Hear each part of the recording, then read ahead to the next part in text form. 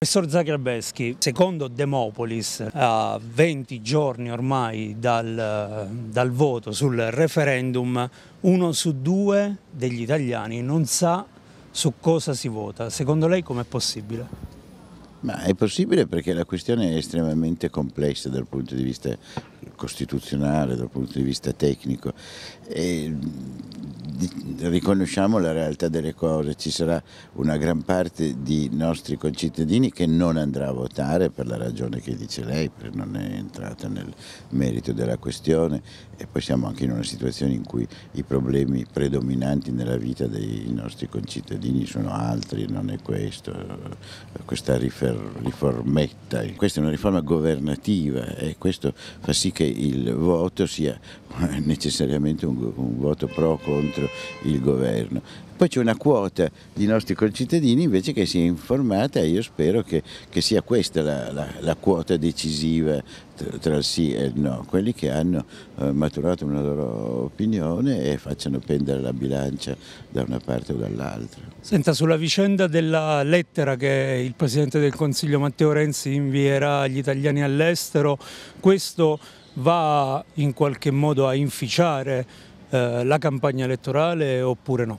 Ma io non lo so, io ho letto questo testo, il Presidente del Consiglio eh, dice ma io l'ho scritta in veste di segretario del partito, a parte la questione degli elenchi a disposizione di, di tutti o non di tutti, lasciamo da parte questa questione. Il governo ha questi elenchi e li vuole utilizzare per la eh, diciamo pure propaganda elettorale, perché se uno legge quel testo eh, è ipocrita dire che eh, serve semplicemente a invitare costoro a votare, no? È un chiaro invito. invito. a votare invito, sì. Ma finisce proprio, basta un sì. C'è il rischio secondo lei che questi 4 milioni di elettori all'estero diventino l'ago della bilancia? Può, può, darsi benissimo, nessuno lo può escludere. Quello che si capisce adesso, lo dicono un po' tutti, è che sarà una vicenda che si risolverà un po' sul filo di lana. Come vedono gli italiani il risultato del referendum? Cosa cambierà?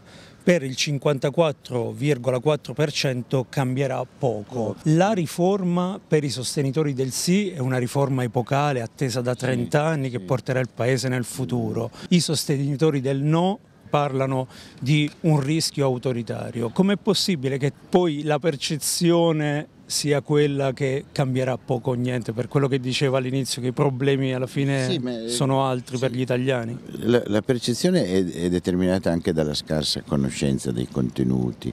Naturalmente se uno legge la riforma costituzionale, la riforma in quanto tale e si accorge che effettivamente sono tutti aspetti molto tecnici, il superamento della, del bicameralismo paritario, sono cose che di per sé non cambiano nulla, ma con la legge elettorale sì, e qui non si sa che fine farà la legge elettorale, perché c'è questo documentino, tutti si dichiarano disposti a cambiare, poi per cambiare bisogna avere una maggioranza in Parlamento, non è una cosa, una cosa semplice.